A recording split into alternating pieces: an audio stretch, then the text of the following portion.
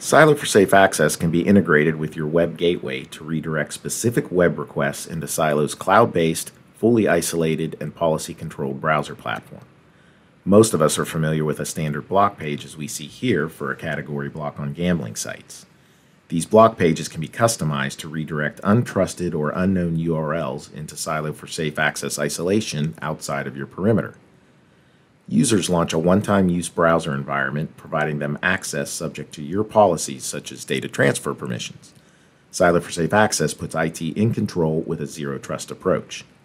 Gateway redirects into Silo can also be leveraged for web links launched from within other applications such as email. User devices and IT infrastructure are fully protected from all malware as all web content is rendered remotely within the Authentic8 cloud.